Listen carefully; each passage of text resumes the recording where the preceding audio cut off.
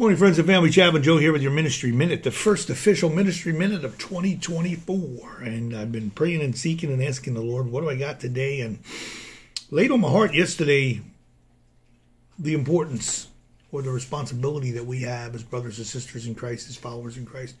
And what are those responsibilities? I'll tell you what those responsibilities are. Um, I talked to other friends and family, friends, and uh, brothers and sisters in Christ, and um, you know, someone passes away, and oh, you know, and then you hear the words. Well, I wonder if they made it into heaven. There's a question about their salvation, and then I started to think about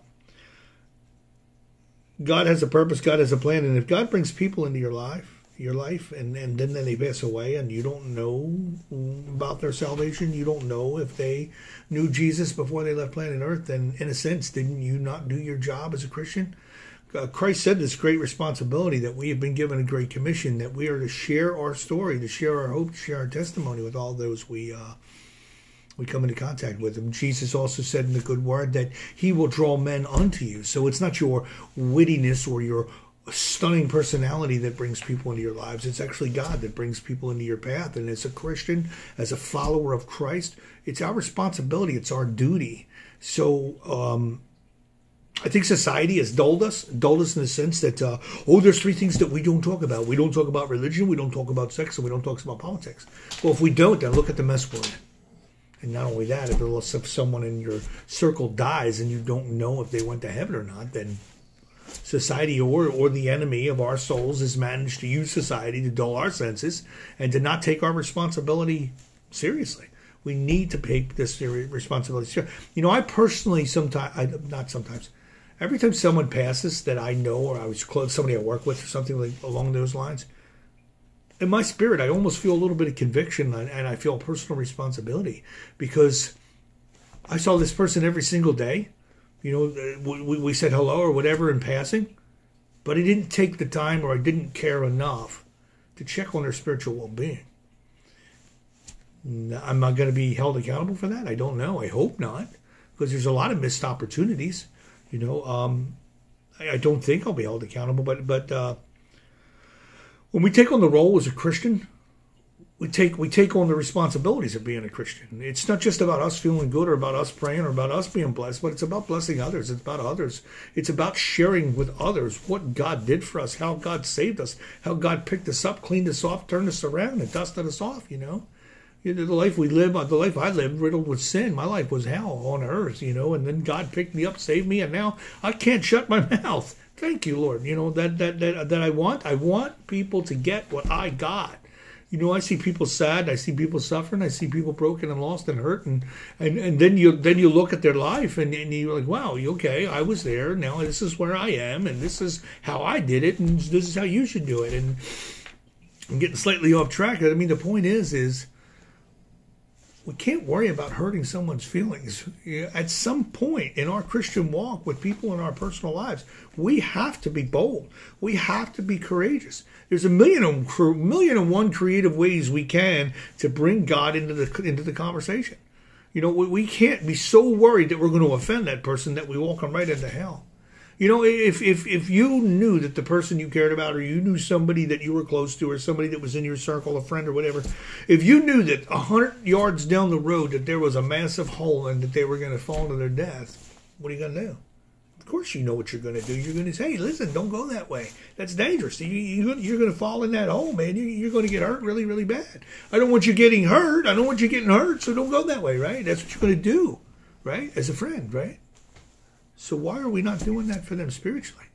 Because you know, at the end of the day, we're all going to die. The soul and spirit's going to leave the body, and we're going to stand before the throne of grace and judgment. So, if we, we don't know what that person's spiritual condition is, and if we claim to be Christians and we claim to proclaim Christ, then it's our duty and it's our responsibility to make sure to have that uncomfortable conversation Believe me, the Holy Spirit will help you do it. You know, I, I bring the Lord, I try to bring the Lord into every conversation that I have. I, I try to, in every situation, you know, even total strangers. You know, it's something as simple as the weather, you know. Uh, oh, man, what a great day. And, you know, I've had people say that to me, and, and my response will be, well, thank the good Lord he got the sun up and he got me up this morning. See how you brought the Lord into the conversation? And right away, as soon as you say something along those lines, or you bring God into the conversation, you're going to know within a minute or two if that if that person is a Christian. You're going to know if that's a, that's a family member, if that's a brother or sister in Christ. You're going to know within a minute or two, that quickly and that easy.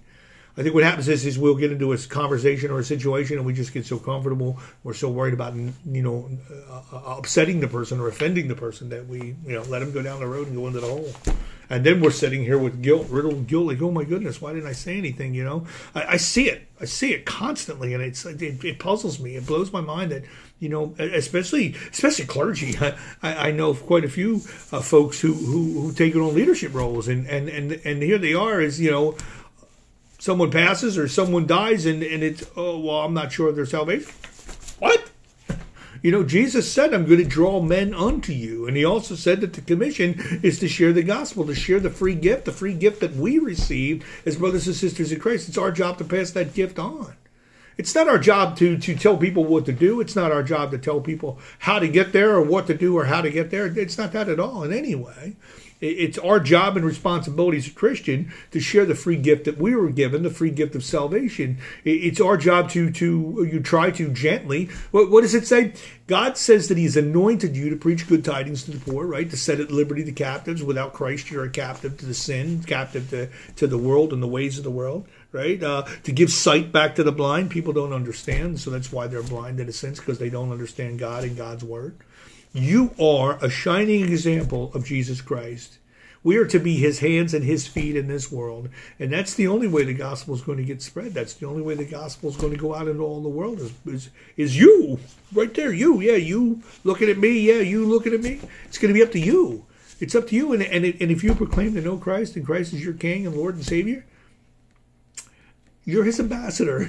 And you need to have those uncomfortable conversations. You got to make sure every single person in your family, in your circle, you got to know where they all stand. You have to know where they all stand. I just recently had a family member pass away. We had no idea. Unfortunately, the friendship got severed uh, a few years back. It, I'm, I'm, talking to my wife about it, doing some self examination, trying to figure out, you know, what went wrong there. But at least I know deep down in my heart that not only not only not only the the, the, aunt, right, she went to heaven, but the uncle went to heaven. I know that for a fact. I know that for a fact. God moved us in next door. Really cool story. I'm not going to spend the time to tell you the story, but uh, thankfully I had that conversation, and thankfully I, I took took my responsibility seriously, my commission, and uh, you, yo, I mean spiritual condition. Where do you stand, man? You know, you you going into the fire? Or you going to to paradise? You the crystal sea, man. The streets of gold. Where are you going? It's that simple. We just hit them with it, man. You hit them with it. If, if someone's in your life and they're circling around you, they're in your life for a reason and a purpose. God's brought them into your life, and it's your job and it's your responsibility to tell them about the free gift you got. It's up to them. It's their choice whether or not they're going to accept it. That's their choice. But it's your job to let them know where you were and where you are now and what God did for you and what Christ did for you and, and, and your guaranteed golden ticket to the crystal sea, to the mansion in the sky. it's your job to tell them about that. And you just got to you got to do it. You can't be afraid. You, you, God didn't give you a spirit of fear. He gave you a spirit of courage, of sound mind, of love, and boldness, of boldness. Be encouraged today. Have that tough talk, man. Have it, because nobody's guaranteed tomorrow. Nobody's guaranteed tomorrow. Have that difficult conversation. Give that person the free gift, or tell that person about the free gift, and. Uh, you'll sleep better at night. At least, at least I know I do for the most part. There's a couple I have. There's, there's a few people that have passed that that I, I'm not sure, and it's sad that I that I didn't do my job. So, but uh, but as as it happens more and more, I take it more and more seriously. I take it more and more seriously because what goes on after here doesn't end. It's eternity.